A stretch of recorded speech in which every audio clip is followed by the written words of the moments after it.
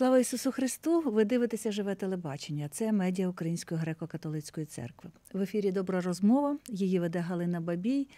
І ми знову шукаємо шляхів зцілення ран війни, бо війна триває, рани наші глибшають, рани наші не так швидко загоюються, як ми би того хотіли.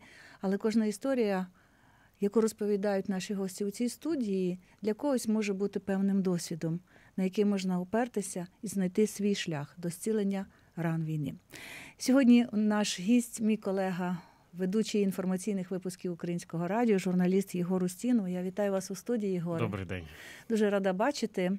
Е, між іншим, коли е, живе радіо розпочинало свою діяльність на київських теренах, то тоді Єгор долучився до команди Живого радіо і також готував інформаційні випуски для наших слухачів. Тобто, це і наш колега в медіа Української греко-католицької церкви теж певним чином.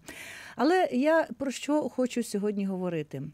Десять років тому Єгор покинув рідне місто. І не просто покинув сам, виїхала вся його родина, фактично.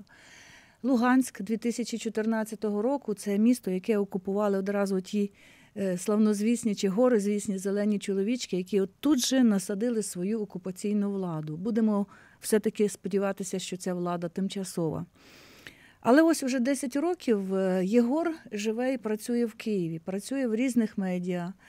Ем, і, як стверджує сам, однаково йому сниться рідний Луганськ. Тобто оці марева про місто дитинства, де він йде рідними вулицями чи вчиться в рідному університеті, вони не закінчуються. Однак, як каже Єгор, уже ті люди, які його оточують сьогодні, також із ним йдуть цими вулицями Луганська. Тобто життя дає якийсь отакий от дивний синтез вражень, знайомств, правда, е, досвіду роботи в різних медіа. Все це нагромаджується. І я ще одне скажу: я ніколи не бачила Єгора понурим за ці 10 років. Він завжди посміхається і завжди навіть дзвінко сміється. От е, що є оцим стрижнем, духовним, моральним, не знаю яким, який тримає вас, Єгоре, ці 10 років, і фактично допомагає оцю рану.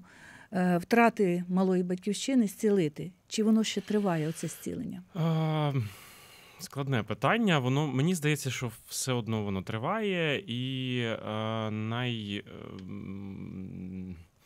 як би так сказати, ну. А, Мої ліки це люди. От Мої люди, які мене оточують, це мої колеги.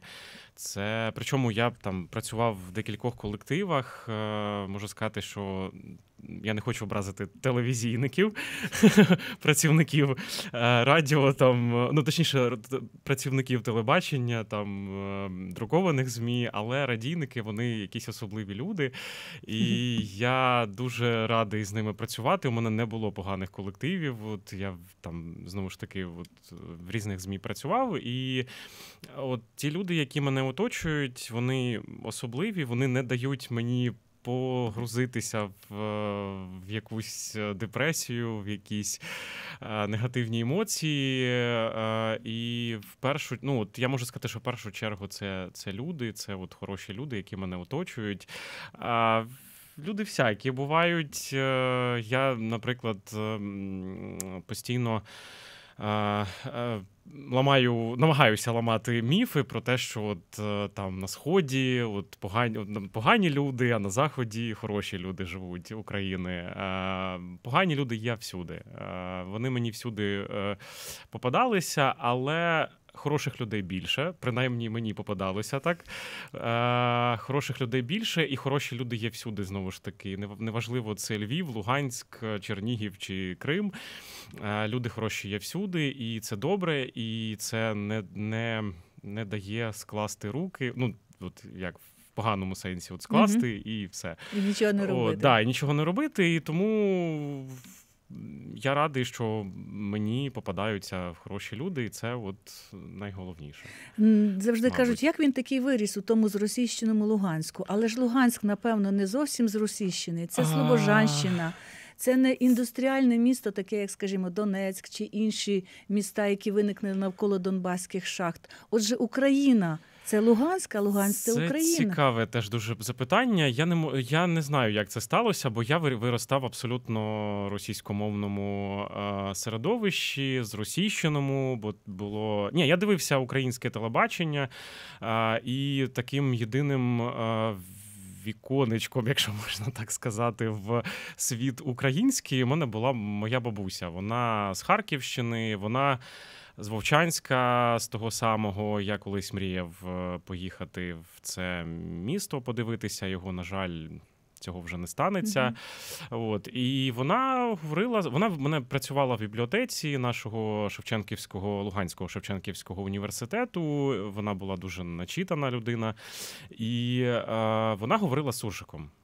Причому, от знаєте, а давайте так поговоримо: чи це був суржик, чи це була говірка Слобожанська? От, це Треба була ж також розрізняти. Цікаве питання. Я вже скажімо так, якщо знову ж таки, якщо можна так сказати, з висоти своїх 32 років е, я замислювався над цим, і вона говорила красивим суржиком. От знаєте, є суржик ну такий якийсь дуже дивний, якийсь там, знаєте, серії там скіко врем'я, там там якісь такі от е, такі фразочки, якісь, а в неї був дуже красивий суржик. А більше він все-таки більше був українською мовою з вкрапленнями якихось там русизмів, а може не русизмів, ще якихось там слів. Але це був був красивий суржик. Отже, це була все-таки слобожанська говірка. Все-таки, мабуть, да. Мені здається, що це була слобожанська говірка, і бабуся мені пояснювала там якісь явища, якісь е, моменти. Вона пояснювала це українською мовою. І, можливо, це е, воно от. От знову ж таки, якщо а, е, так образно це казати, можливо, вона от посадила те зерно от в, в мені, яке потім проросло. Потім, от десь от класі в 10-11 школи, я почав задаватися питаннями. А, а чому ми говоримо російською? Луганськ це Україна. Чому тут російська? Я почав з'явився потім інтернет. У мене е, я почав е, цікавитися цими питаннями. Е, от Луганськ, все таки він мені здається більше стосується до Донбасу, хоча да, там географічно є питання, угу. але це все таки Донбас, і ну, якщо подивитися, там, почитати історію. Наприклад, історію голодомору, якщо почитати, то стає багато чого зрозуміло. Наприклад, я колись цікавився питанням, наприклад, місто Краснодон, якщо не помиляюсь, на півдні Луганщини. Він. За переписом 2001 року складається там 95 по відсотків етнічних росіян. Тобто це люди, які приїхали з в оті спорожнілі от, хати, да, да, де да, вимерли оті... етнічні так, українці. Так. І, наприклад, те теж я намагаюся розвінчувати міфи про Луганщину. От е, я кажу, що а ви знали, що північ Луганщини, да, та сама Слобожанщина, вона україномовна. Там, Там люди так, вони говорять суржик суржиком, але там українська мова звучить, і багатьох людей е, люди дивуються. Вони е, знову ж таки вони знають той стереотип про те, що Донбас він е, нібито російськомовний. Інший, ну, по-перше, він мультикультурний. Там. Ем, там багато різних людей, різних національностей. Е, от і але, от, наприклад, північ Луганщини, вона україномовна. 2014 рік. Що відбувалося в Луганську? Як це все сталося? Оцей розлом, і як ви змушені були звідти фактично тікати? А, Ну це почав почин... Я вже чесно, мені складно уже по датах е, конкрет, ну, конкретно сказати, коли поч... коли що починалося. Я е, в 13, можу сказати, що от там в 13-му році я прийшов працювати на обласне наше радіо Луганське, і е, тоді ще було ну як відносно спокійно. Звісно, що е, знову ж таки багато хто думає, що е, те, що сталося в Луганську, в Донецьку, воно починалося в 13-14 році, воно починалося, на жаль, ще в 90-х. А, І а, ті просто ті процеси, які вже почали відбуватися в 13-14 році, це ну вже по суті наслідки. На жаль, там ну, взагалі на сході була проросійська влада, яка робила, що хотіла, і тут у мене виникають питання до центральної влади. Не зна... ну, я нікого не звинувачую. Mm-hmm. Я до того, що чомусь я розумію, що там якісь були обставини. Е, центральна влада вона не дуже звертала уваги увагу на регіони. Так, так, на регіони пам'ятаю. і. Ну, сталося те, що сталося. Місцева влада робила, що хотіла, вона була безнаказаною, і це вилилось в те, що вилилось. І ну, от я починав ще працювати було відносно спокійно, і от е, початок, ну, почався майдан, потім. Е- Потім події е, почали розвиватися в Луганську, і е, да, я був на цих все. Я все все бачив своїми очима. Тобто я працював кореспондентом е, на, на обласному радіо, я це все бачив. Е, це було як як якесь кіно. Фантастичне, да? про яке Дуже навіть фантастичне. Не можна було е, да, І е, потім, просто вже, коли вже були всі захоплені вже будівлі адміністративні, в якийсь момент е, мені тоді було. Скільки 21-22 роки, в якийсь момент е, мама нам з сестрою сказала: так, збирайтесь і їдьте Київ. Тобто ви лише з сестрою поїхали батьки? Спочатку залиш... з сестрою, да. Це був це, скажімо так, початок. Е... Ну, тобто, вже вже були вибухи, вже були тривоги. Е, От ще були останні потяги. Ми сіли і поїхали. А батьки вже їм ну, їм довелося складніше. Вони вже застали ці обстріли. Вони вже сиділи в коридорах, в підвалах. От, ну а там. Угу. Ну і зрештою, ви потім з'єдналися з родиною. Звісно, так? звісно. Там була дуже складна історія. Батько в 2014 році хворів онкологією. Е, мама це все. Ну, звісно, вона була поруч багато переживала. Потім ну там така довга довга, довга історія, і ну, приїхала вже одна мама. вже в Тобто могила Київ. батька там, в Луганську окупованому? А, Могила батька в Росії взагалі. Він у мене з Краснодарського краю, з він родом з села недалеко від Геленджика. До речі, в селі старше покоління говорить суржиком. Я там Також був пару разів. Да? Воно прекрасно говорить суржиком. Я спочатку, чесно, коли почув, я дуже здивувався. Я думав, ми точно в Краснодарському краї. От. Знову ж таки, там дуже довга історія. Mm-hmm. Їм довелося виїжджати туди. От, І вийшло так, що він похований там. Він біля моря. Як До речі, як він мріяв. Він мріяв, він виріс на морі, він виріс в Краснодарському краї, він марив цим цією батьківщиною, там маленьке таке село.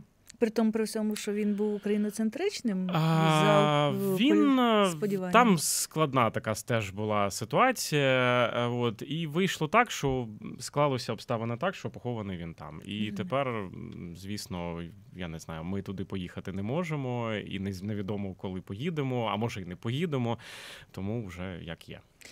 Коли ви приїхали до Києва, треба ж було справді починати життя з чистого листа. Чи так. у вас були тут друзі, знайомі? А, Були родичі, вони допомагали, але ну все одно і друзі, да, і е, але все одно це ж це, це взагалі цікаво їхали. Ми з сестрою їхали на два тижні. Я пам'ятаю, взяв відпустку на два тижні. Ми приїхали, і звісно, ми там слідкували, жили у друзів, е, слідкували за новинами новинами. Навіть був момент, коли е, я пам'ятаю. Ем, е, наша українська армія вже входила в Луганськ, вона вже була от в межах міста. І щось сталося, от от, от, от так от сталося, і вони вийшли звідти. Я знову ж таки, я не військовий, я нікого не е, засуджую, нічого не аналізую. Я пам'ятаю, що ми просто ми слідкували за новинами. І потім це повернулося. І в якийсь момент, тут уже на в кінці другого тижня, ми почали розуміти, що треба шукати роботу. Житло, роботу, бо жили у друзів, дуже їм там дякуємо. От, І тоді я пам'ятаю, у мене ну, тут сюди теж в Київ приїхали мої колеги з обласного радіо. І ми ходили, ми заходили в видавництва, ми заходили от просто йшли по вулиці, заходили на олівець, е, на суспільне, на телебачення. Телецентр. Тоді ще так, був, так, він так. називався Олівець, будівля на е, ну, поблизу метро він... Дорогожичі. Так, так, так. А, Просто і заходили, навіть в будівлю е, преса України на Шулявці ми заходили, там казали, що добрий день, ми журналісти з Луганська, шукаємо роботу. Було ну, Тоді якийсь такий був момент не знаю, було було складно з роботою. Mm-hmm. І в якийсь момент я пам'ятаю, я написав тодішньому е, директору Радіопромінь, е, пану Роману Коляді. От я йому написав. Я просто на сайті знайшов. Хто Контакти. так, керівництво написав в Фейсбуці, кажу: добрий день. Я шукаю роботу. Я з Луган... ну, я працював на Луганському обласному радіо. І він відгуку... відгукнувся. Мене це тоді так здивувало. Він сказав: приходьте, поспілкуємося, і от так потихеньку-потихеньку. І потім ви працювали на Радіо Свобода, і на потім ви робили Донбас Реалії, так, так робили. Так, і так. зараз ви ведете інформаційні випуски на українському радіо. А скажіть, е, чи бували у вас моменти відчаю, коли ви пошкодували, що покинули Луганськ, і бо ж я знаю, що є багато людей, котрі повернулися на окуповані території, і їх теж можна зрозуміти, коли немає засобів для існування, немає якогось духовного опертя, немає е, можливості орендувати житло, мати працю. Люди повертаються в пекло, фактично, так. знаючи, що їх там будуть фільтрувати, допитувати, і не все буде так гладко. Чи були у вас такі моменти? Якщо були, то як ви їх долали? А, у мене особисто не було. Бо, можливо, через те, що я зовсім був і залишаюсь молодим. А у мене не було такого. Я чітко розумів, що якщо я там залишусь чи повернусь, я поїду, по-перше, на подвал, як вони кажуть, на подвал. А по-друге, це в'язниця. Це да, по суті, просто це... в'язниця, де над людьми да, знущаються, їх да, катують, іноді навіть без видимих причин. Так, так, так. Або я не знаю, може це, це не кращий випадок, це гірший випадок. Е, мене б забрали в окупаційну армію. Тобто, проти своїх тобто, воювати, у мене, так? в принципі, у мене не було жодних е, ілюзій. Я розумів, що і зараз я, в принципі. Ем, я оптиміст, я вірю, що Луганськ буде вільний, він буде український, але з іншого боку, ну можливо, я туди і не попаду вже ніколи. Я це теж розумію. От як буде, так буде. Чому ж він вам сниться? Він мені сниться. От, До речі, цікавий момент. Е, мені періодично сниться Луганськ. Мені декілька разів снилося, як я е, виходжу з потяга. Не знаю, з якогось потяга виходжу е, на залізничному вокзалі, доїжджаю до свого будинку, доходжу до свого будинку. І причому, що цікаво, я у вісні я розумію, що це окуповане місто. Я так обережно іду до свого будинку, ем, е, знаючи, що я можу бути поміченим, е, я, мене можуть е, арештувати. Я доходжу до до свого будинку і прокидаюся. От такі такі сни були декілька разів. І от да, як я вже казав. Чомусь і Київ за 10 років мені мені не снився жодного разу.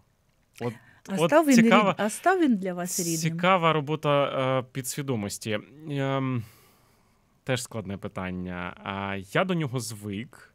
Ми, скажімо так, потавирушували. Але м, він мені став домом. А, Можливо, якби. Е, ми б не подруж... умовно не подружилися з містом, було б гірше, і він мені став будинком, домом.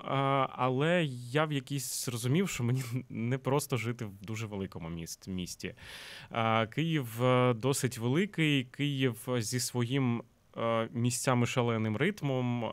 От Тож для прикладу, я там е, їздив в Івано-Франківськ, у мене там друзі, і от я виходжу з потяга. Е, дуже люблю це місто. Е, ми гуляємо, спілкуємося, п'ємо каву. Це от якось так все спокійно, розмірено, і я повертаюся в Київ. Я сходжу з потяга, і я автоматично, я навіть цього я не розумію, як це відбувається. Я автоматично починаю іти е, вдвічі швидше, ніж я. От ми гуляли в Івано-Франківську. В Києві я починаю на якійсь е, подвійній швидкості бігати. Я розумію, що мені не просто жити в цьому е, ритмі, але я ну куди діватися.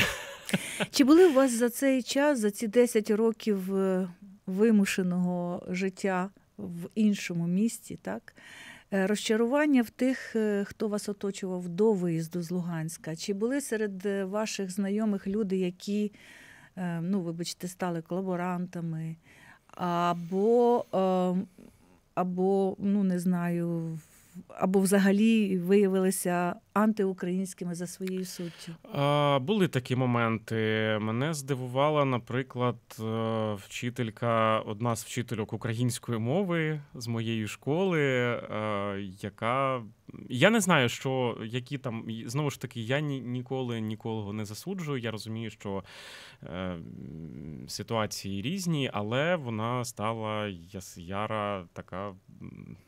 Угу. Я не знаю, як тобто, патріотка до... того формі... формування. Тобто це яке... був вовк овечій шкурі, виходить можливо, до 2014 Можливо. Вона хороша викладачка, вчила української мови, все, але от в якийсь момент отак от е, це помінялося знову ж таки. Є люди, я знаю, з якими я спілкувався, вони. Я розумію, що вони у них просто склалися так обставини, вони не змогли виїхати, які е, просто ну, вони ходять на роботу, вони там щось роблять, але вони не. Ем, як це? Вони нейтральні, скажімо так.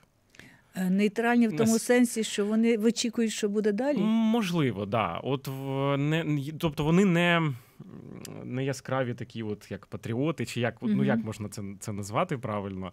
А, І навіть я знаю, що є проукраїнські люди в Луганську. Луганську. Вони да, про е, через навіть через 10 років після початку війни вони е, все одно залишаються проукраїнським. Да, вони втомлені, да, вони десь можливо. Е, починають розчаровуватися, але вони там все одно є. От. І вони чекають Україну, як як не крути. Угу. Коли вам було дуже важко, а я впевнена, що такі моменти були і не одно, і не один раз. Е, хто чи що ставало для вас опертям? Ну, все-таки в першу чергу це мої рідні, е, моя сім'я, сестра, е, племінниця, її це чоловік е, сестри, е, мама, дід у мене є. Е, от всі мої, в першу чергу, це мої рідні. Всі тут? Так, ну скажімо так, дід у мене зараз живе в Ізраїлі. Угу. От склалось так, та знову ж таки так склалося обставини. От, до речі, це він для мене приклад. Він в 76 років почав життя з нуля. Знову ж таки. Не склав руки, не склав руки, не, здався. не ліг на диван. На диван.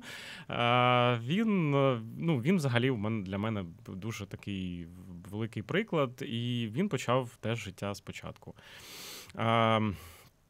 В чужій країні, е, де так, там є російськомовне населення, ну тобто угу. спіл, де спілкуються так, да, його рідною мовою.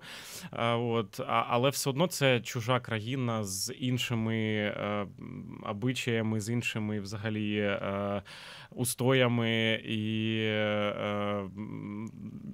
іншою мовою, не схожою ні на ні на що, ні на яку іншу. А, Але ну, він він молодець, у мене він впорався. А, Хто ще вас підтримував? А, хто, хто підтримував? Для вас да, да, да. Ну, В основному це в першу чергу це сім'я, я їм дуже дуже вдячний. А, І ну, знову ж таки, це от мої близькі друзі, колеги. От, Звісно, це я я такий да, позитивний, але, звісно, приходять моменти, коли іноді якось. Оця нова хвиля, що зараз людей приїхала із е, тих е, містечок, сіл і міст, де ведуться бойові дії, звідки вони евакуйовані, звідки вони вимушені були виїздити. Чи ви спілкуєтеся з людьми цієї хвилі в якихось моментах? І е, чи це різні за філософією своєї люди, чи це однаково ті самі люди, які е, е, сумують за своїми малими батьківщинами? Скажу чесно, не доводилось. От якось е, не зустрічалися мені е, ще переселенці з інших е, міст. Єдине, що я можу сказати, да, я переселенці з. е, Наприклад, з Донеччини, от мої знайомі, з ким я спілкуюся, це все-таки переселенці ще першої хвилі. Я їм трошки заздрю, вони. Вони дуже сумують за Донецьком за своїм. А, Не зрозумійте мене неправильно. Я, е, я теж сумую за Луганськом, але ну, не до, не до такого ступеня. От якось я мож- можливо, все-таки через, е, через війну, через те, що його споплюжили е, росіяни і їхні поплічники. Можливо, е, і, я прекрасно адекватно усвідомлюю, що коли я можливо колись приїду в Луганськ, він буде. Абсолютно інший. Це вже буде інше місто з іншими людьми. Воно мені вже буде чуже, я так розумію. І е, можливо, я десь всередині себе я. Ну, все, у мене от мій залишився мій Луганськ дитинства а, в, в моїй душі, в моїй голові. І е, от, можливо, я да, сумую за тими часами, за тим е, містом, але ну, я не сумую за нинішнім вже Луганськом. Можливо. Ну, я не знаю, чи нормально це, чи це ненормально. Очевидь, Але так. я от трошки заздрю моїм зна- знайомим дон- донечанам, які от ми дуже досі ми любимо Донецьк, ми хочемо в Донецьк, і я впевнений, що багато з них е, можливо ще повернеться туди, і, і це дуже. Це дуже добре. Це, це Ну, але повернеться, звісно ж, з- Звісно, Збройними силами да, України. ні, це само собою. саме Ні, це ніхто не говорить навіть да. Це тільки коли е, е, його звільнять. е, От тому Дві хвилини у нас до завершення нашої з вами розмови. Хотілося б ще говорити і говорити. А, чи можете ви сказати, що у вас є вже якийсь досвід, який би втілився в якихось кілька речень, що були би, скажімо, ниточкою такою в цьому от е, коридорі пітьми, в якому опиняються люди, котрим доводиться все починати з чистого листа, спочатку, на новому місці. Чи цей, е, чи ви можете сказати щось таке? Люди, тримайтеся за ось це. Е, розумієте, знову ж таки, це складне питання, тому що у кожного свій рецепт. Е, не, не, ну, якісь мої поради, якийсь мій рецепт, вони підійшли мені, але можуть не підійти е, комусь іншому. Тому. Єдине, що я можу сказати, це просто треба не боятися, е, треба просто робити, шукати, шукати роботу, починати, можливо, з, з малого. Я починав от в Київ просто от, я от з настільки малого. З однієї роботи, з е, там співставки, е, мене взяли на ту роботу. Я там от Ну, ви вчи- ж ходили і стукали у всі двері. Так, я стукав у всі двері. Я е, там це там мене там спочатку якась там була дуже мікроскопічна зарплата. Якісь ну да, це складно. Да, хочеться одразу вершин якихось, хочеться хорошого життя. Але на жаль, ну комусь да, комусь щастить, комусь не щастить. Тому просто треба рухатися, треба робити, не боятися робити. І воно якось так потихеньку. Ну, і, очевидь, потихеньку. віра має бути. І віра. Ну, звісно, це, це за, за, Віра- за замовчуванням. Віра да. це той вогник, який веде людину, Так. тримає, підтримує. Так, так, так. Не, не, на, намагатися її не втрачати. Я прекрасно розумію, що бувають е, дуже різні ситуації, складні, але треба підніматися, йти, і робити, і вірити. Життя вже ніколи не буде таким, яким воно було вчора, чи позавчора, чи 10 років тому, коли ворог прийшов е, зі своїми зеленими чоловічками на нашу українську землю. І Луганськ, е, де народився і виріс наш герой, Єгор Устінов, журналіст, наш колега, вочевидь, теж уже не буде таким, яким він був тоді, коли е, це було місто його дитинства. Але буде інший Луганськ, і ми впевнені, що він буде українським, бо був і є. І мрії збуваються. Якщо вірити і мріяти, тоді все абсолютно можливо. Дякую вам, Єгоре, Дякую за цю вам. розповідь. Я бажаю вам і надалі міцно стояти на ногах, запалювати своїм оптимізмом тих, хто ще шукає шляху у цій е, ситуації страшній, в якій ми опинилися в час повномасштабної війни, та ще й 10 років тому. Дуже І дякую. вам. е, вірити в Україну. Україна у нас одна, і ми Так. маємо всі вистояти і дочекатися нашої великої перемоги. Єгор Устінов, журналіст, був нашим гостем. Добру розмову з ним провадила Галина Бабій.